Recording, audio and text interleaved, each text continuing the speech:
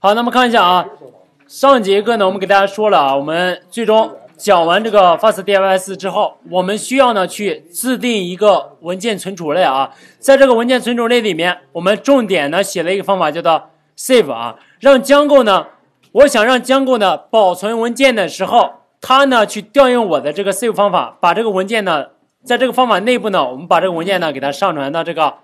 FastDFS 里面，现在关键点就是把这个类我们也定义好了啊。你怎么让江构呢上传文件的时候能够调用你的这个类呢进行文件的一个处理啊，进行文件一个上传。那么在这里面呢，我们还要再给大家说一个配置项啊。那么这个配置项呢，它就叫做 Default File Storage 啊。这个呢是我们 Settings 里面的一个配置项。哎，点进来给大家看一下它什么东西啊？Default。那么在这里面，default file storage 啊，你在这里面看到找到这个啊，default file storage，你看它的默认值是什么啊？Django 点 call 点 files 点 storage 里面的 file system 啊，这就是我们给大家说的，你默认上传文件的时候呢，它就是用这个类呢来进行处理的，对吧？这是它的默认的一个配置项啊。我们要想让 Django 呢能够调用我们自己写的类，你就需要呢去修改这个配置项啊。修改这个配置项，把这个配置项呢去拿到你的这个 Daily Fresh 的 Settings 里面，然后在下面呢，哎，我们加写上这样一个配置项。好，在配置项里面呢，我们就指定我们的这个文件啊，这个文件呢就是在我们的 Utils 下面的这个 FDFS 对吧？FastDFS 里面有个 Storage 啊，Storage 点点我们的这个类名对吧？就是它啊，就是它啊，直接把它。拿过来，然后呢，放到我们的配置文件这边，哎，找到它里面，哎，就是它啊。这里面呢就是设置啊，设置。那么江构啊，江构的哎文件存储类啊，文件存储类。那么你这样设置完之后呢，你上传文件的时候，将够呢就会调用你这个类里面的哎方法呢，叫你这个里面方法啊。OK，那么把这一步做完之后呢，哎，我们的这个类也写好了。好，下面呢，我们呢就可以呢。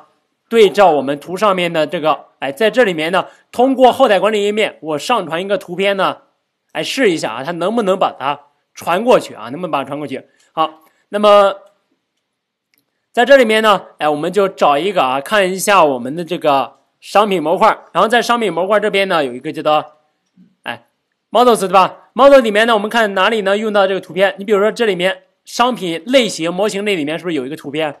对吧？哎，这个图片我们之前给大家讲这个模型类的时候啊，我们说这个 upload to 你随便写啊就可以，因为我们不用它啊。这个呢是给这个默认存储时候呢使用的一个参数啊。我们在这边有了它之后，它里面有一个图片，我就可以呢把这个模型类呢哎注册一下，我们上传一个试一下啊。就在这里面找到这个 admin，我要从这个类里面把这个类导过来啊，from 我们的 goose 点 models 啊，import 我们的 goose type。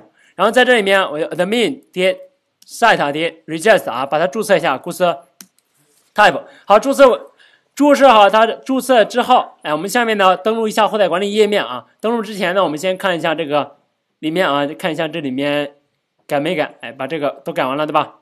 改完了之后呢，下面我创建一个管理员啊。我先停一下这个东西，我创建一个超级管理员啊，Python manager py create super user 啊，super user，OK，admin。哎，这里面啊已经有了是吧？已经有了，我们不就创不创建了啊？好，在这里面直接启动啊！启动之后呢，我们就登录啊，run server。好，启动之后呢，哎，登录我们的管理页面，我在这里面敲入一个地址，是这个 admin 对吧？admin 啊，admin，OK，这里面 admin 啊，这个密码，OK，这时候过来了，我是不是注册这个类对吧？然后点进来，点进来之后呢？这里面呢，这是哪一个？这里面怎么有这个内容呢？好，你不要管它啊。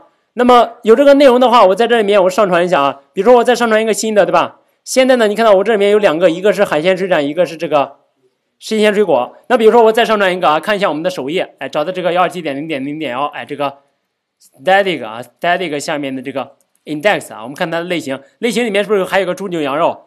对吧？我就在这边，我去加一下这猪牛羊肉啊，在这里面点击增加，我们写一个种类名称，哎，就是我们这个猪牛羊肉啊，猪牛羊肉。OK，这是它。然后呢，这里面还有一个标识，这个标识对应着谁呢？就是我们所说的这个 models 里面的 logo 啊，model 里面的 logo，logo 呢就是这个标识。我们说这个标识呢，在我们添加这个数据的时候呢，它呢不是一个图片，它其实呢是一个雪碧图，对吧？你在这里面是不是通过 class 控制它显示哪一个内容，对吧？所以呢，我们最终啊，在数据表里面，我们保存的，我们写的是一个字符串啊，就是。保存这个类到底是什么啊？这个类到底是什么？这里面呢就是这个 meet 对吧？所以我在这边我加的时候应该写上一个 meet 啊 meet OK。然后呢再往下啊，在这里面，那么现在呢选择商品类型的图片，这个图片呢我们要选择一下，就是在这里面找到我们这个图片，那么找到我们的这个哎里面啊找到我们我看一下这个是在我的这个第一键下面，第一键下面呢有一个 data 有个。这里面，哎，这里面呢，找一个图片啊，我们直接去我们的项目目录下面找吧。D J 下面 B J 幺八里面呢有一个 Data Fresh，Data Fresh 下面有一个 Static，哎，里面有个 Image，对吧？Image 下面是不是有这样有这样一张图片？这就不是，对吧？这就是这个猪牛羊肉的图片啊，这就是猪牛羊肉的图片。那我在这里面呢，我就可以呢去选择它啊，点击打开，这是不是选择了，对吧？下面你要做的就是点击保存，你注意啊，你只要一点击保存。你将构呢就会调用你的这个，哎类啊，你因为我们在这边呢已经通过这个 settings 呢做了一个指令啊，将构呢就会去调用这个类里面的 save 方法呢帮我们去保存一个文件啊，保存一个文件。那么然后呢我们再看一下啊，我们在这里面，我在这里面我点击保存的时候，OK，哎这是不是成功了？看到没有？成功了之后我点击这个中间羊肉啊，你点开之后看一下啊，这里面说了什么，对吧？sub class。Of a storage must provide a URL method，对吧？所以呢，你在这里面，其实呢，你点过来之后呢，它刚刚虽然能保存成功，但是我点进来去查看这个数据的时候呢，它还需要一个方法，这个方法呢叫做 URL 啊。URL 呢，哎，我们给大家看一下这个 URL，哎，它里面的这个东西啊，然后在这里面，我们找到我们的这个啊，把它回来，回到上面啊，文件存储类，然后呢。这里面呢是我们的这个 storage，哎，看它里面的这个 URL 啊，哎，storage，我们在这里面自定义这个文件的存储类，storage，我把这个链接啊，还是直接打开我们这个链接，在我们这个上面呢有一个对应的链接，那么这个链接呢，哎，就在这里面，点开它，点开自定义文件存储系统。然后呢，在这里面看一下这个，找一下这个 URL，哎，看到这里对吧？这里一个 URL 啊，点进来看 URL 什么意思啊？URL，那么找到我们的 URL，URL 呢，就看返回 URL，通过它可以访问到 name 所引用的文件，对吧？name 所引用的文件啊，那么这一步什么意思呢？其实呢，它在这里面显示的时候呢，它就需要你定义这样一个 URL 函数。那么这个 URL 函数呢，我们就需要呢，在我们这个类里面呢去。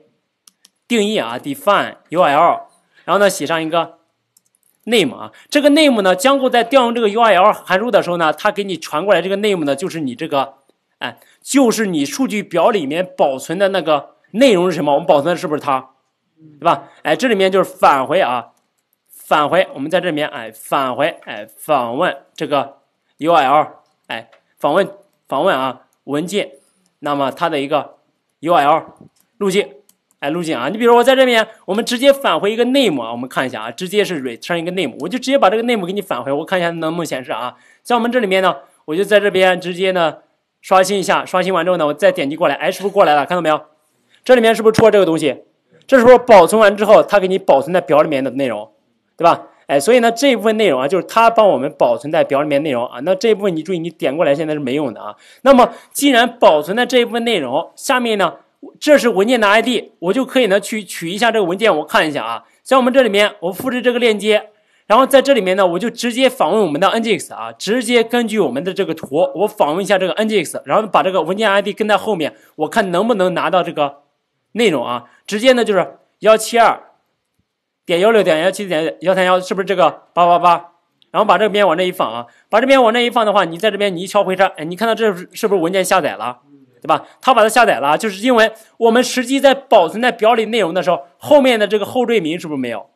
哎，后面后缀名没有啊，只有这一部分内容。那么我们怎么去哎，看一下这个文件到底显不显示呢？在这里面啊，我们可以呢，在我们的静态文件夹下面呢新建一个测试文件，比如说我就叫做 static，在这个 static 里面呢，我定一个标签，标签呢写上一个 image，image src 呢，我要给它指定一个地址，指定谁呢？我就写上这个 nginx 的地址啊，幺七二点幺六点幺七九点幺三幺冒号八零零零，对吧？然后呢，斜杠斜杠后面写什么呢？我就写它。哎，你写完它之后，那么我现在一显示这个页面，浏览器是不是会请求这个地址，是吧？请求完之后呢，他把这个内容 NGS 给它返回回来，它就会给它解析为一张图片啊。那么这一部分的话，我们就看一下啊，在这里面访问我们的本网站的啊，这个幺二七点零点零点幺下面呢有一个 static 啊，static 下面呢我刚刚创建了一个 test 点